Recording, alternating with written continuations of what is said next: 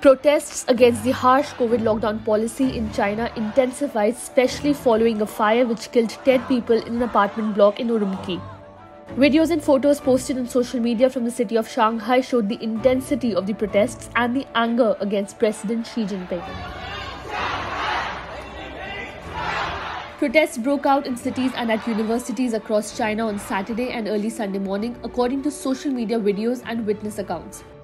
The visuals on social media posted by foreign journalists show hundreds of people calling for President Xi Jinping to stand down.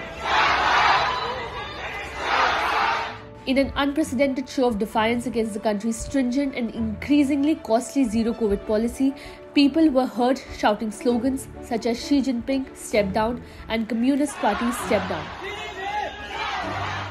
Some also held blank white banners. The crowd also chanted, Don't want COVID test, want freedom, and don't want dictatorship, want democracy. We don't need anything to write on it. It's a symbol of the revolution of the people. One of the protesters was quoted as saying.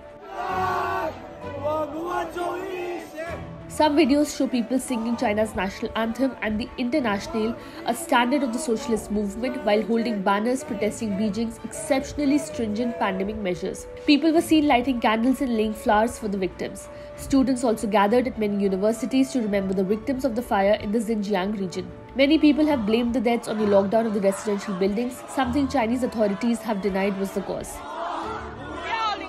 Though the situation in the area had calmed by Sunday morning, there was a heightened police presence in the area of the protest, with several dozen police officers, private security guards, and plain-clothed police officers on the streets. Elsewhere, in several Chinese universities, photos and videos emerged online of students protesting on Saturday night. The largest gathering seemed to be at Nanjing Communications University. The open display and demand for President Xi to resign is the most explicit and outspoken criticism we have ever seen in an otherwise extremely benign and obedient Chinese society.